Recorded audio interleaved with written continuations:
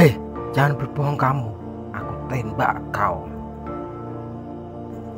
Bentak salah satu dari mereka kepada Rinto. Benar pak, kalau tidak percaya, aku antar ke rumahnya. Kalau tidak percaya lagi, aku antar ke kuburannya pak.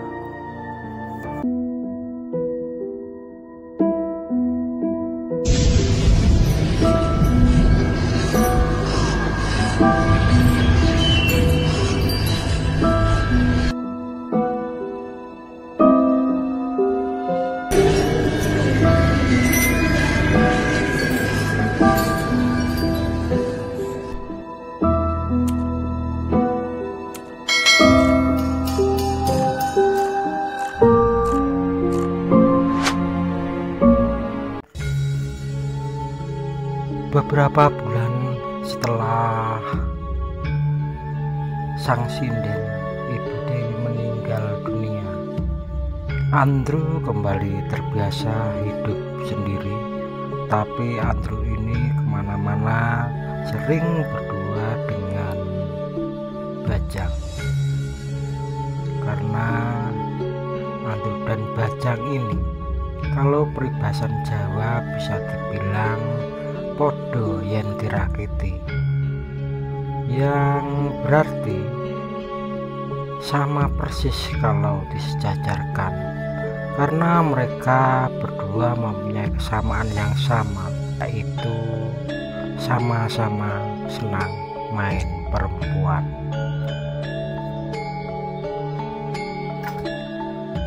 Di mana ada Andrew di situ pasti ada juga Bajang dan tongkrongannya keduanya juga menjadi tongkrongan teman-teman sekampungnya.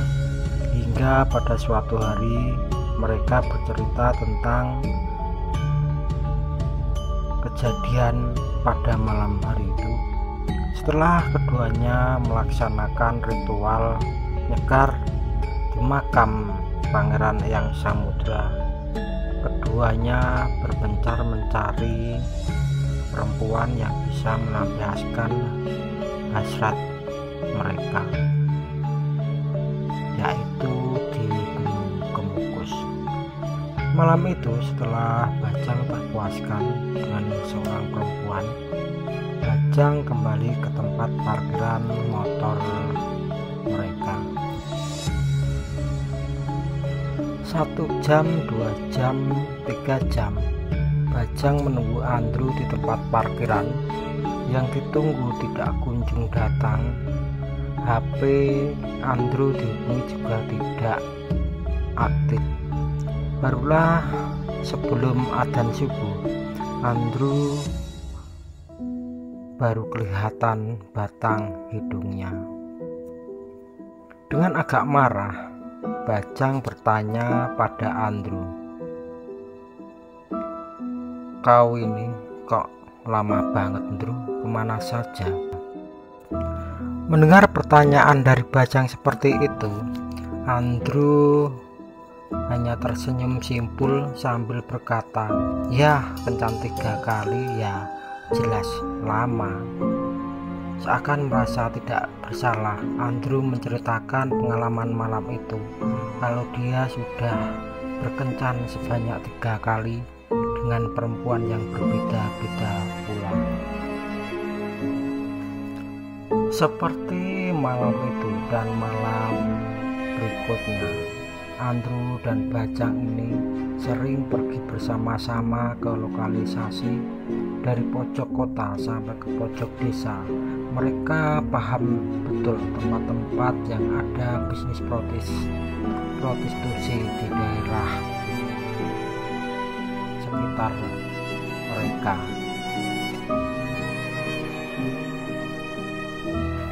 Hingga pada suatu hari pada bulan Mei 2016, orang-orang kampung dikagetkan dengan kabar bahwa mobil yang ditumpangi Andrew dan Bajang kecelakaan tertindas kereta api di lintasan kereta api tanpa palang pintu.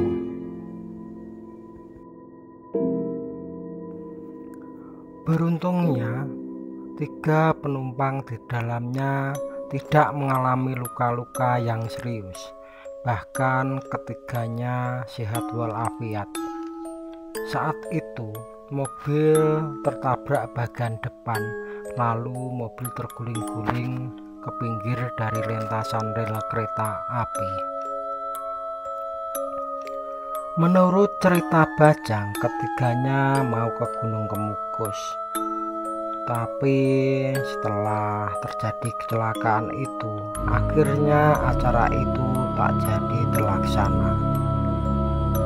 Hari itu setelah beberapa bulan terjadi kecelakaan di lintasan rel kereta api tanpa palang pintu Kecamatan Miri, Kabupaten Sragen, Jawa Tengah. Tiba-tiba hari itu Andrew kembali membawa pulang sesosok perempuan yang seumuran dengan Ibu Dewi dan seumuran dengan ibunya sendiri. Namanya Ibu Rani. Menurut cerita Bajang, Andrew dan Ibu Rani ini malam itu bertemu saat keduanya. Habis nyekar di makam Eyang Pangeran Samudra di Gunung Kemuku kemudian mereka berbincang.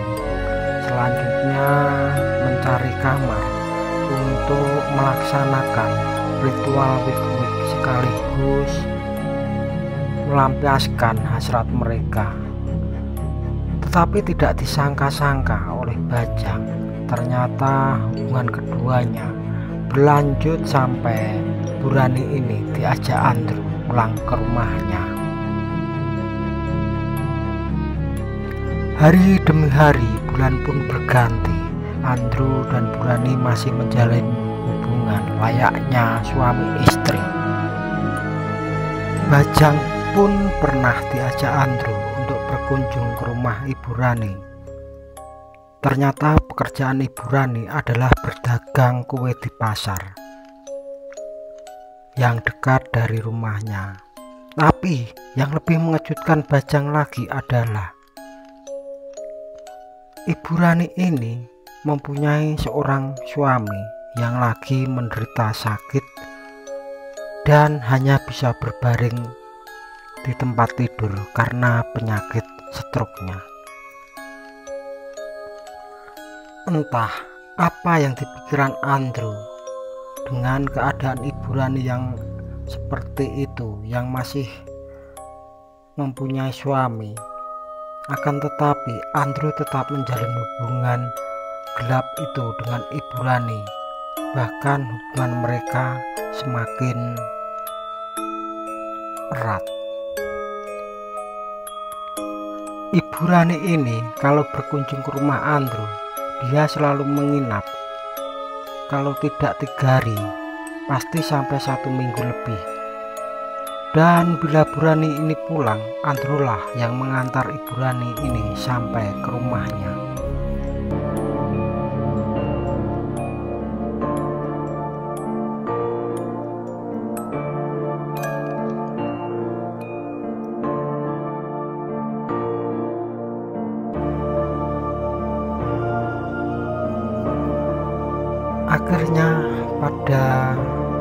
Itu Andrew jatuh sakit dan dibawa ke rumah sakit. Sepulang dari rumah sakit, sepertinya Andrew ini mulai sadar. Dia mulai sering pergi ke masjid seperti dulu. Dia pun menyadari dulu badannya yang begitu tegar begitu segar kini badannya semakin kurus. Hari demi hari penyakit Andrew semakin parah. Entah sudah berapa kali Andrew ini masuk keluar rumah sakit. Dan siang itu Ibu Rani yang menjaga Andrew tiba-tiba berteriak minta tolong karena Andrew terjatuh dari tempat tidur dan dia sendiri tidak kuat untuk mengangkatnya. Kebetulan di depan rumahnya ada penjual es krim yang kemudian mengangkat Andrew kembali ke tempat tidurnya. Penyakit Andrew semakin parah. Kembali Andrew dibawa ke rumah sakit, tapi selang beberapa hari Andrew dibawa ke rumah sakit.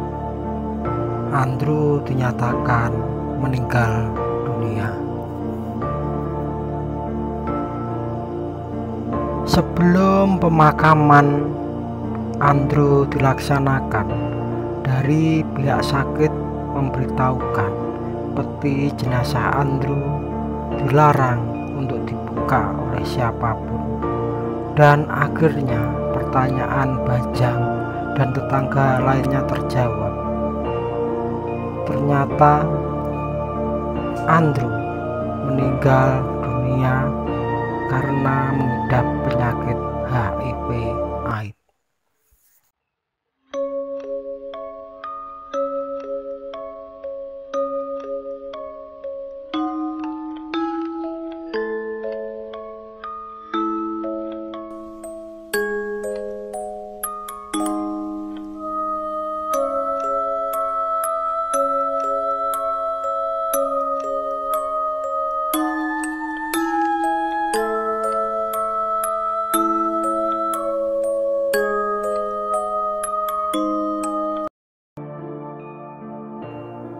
Malam itu suasana sepi. Seusai gerimis, Rinto masih duduk-duduk di teras rumahnya sambil menikmati suasana yang cukup dingin ditemani dengan sebungkus rokok dan segelas kopi di hadapannya. Tiba-tiba Rinto dikejutkan oleh kedatangan dua buah mobil yang berhenti di depan rumahnya. Dari mobil satu keluar enam orang yang bertubuh tinggi dan tegap. Sebentar kemudian mereka berenam menghampiri Rinto yang sedang duduk sendirian di bawah lampu terasnya. Mas, kami dari kepolisian. Apa benar itu rumahnya Andrew? Tanya satu orang dari mereka sambil Andrew. Benar pak, jawab Rinto agak ragu-ragu untuk mengatakannya. Apa Andrewnya ada di rumah mas? Tanya orang itu lagi. Loh, Andrewnya kan sudah meninggal pak. Belum ada 100 hari ini. Hei, jangan berbohong kamu. Aku tembak kau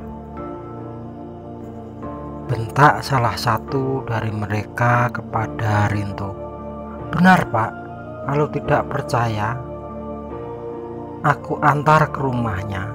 Kalau tidak percaya lagi, aku antar ke kuburannya pak.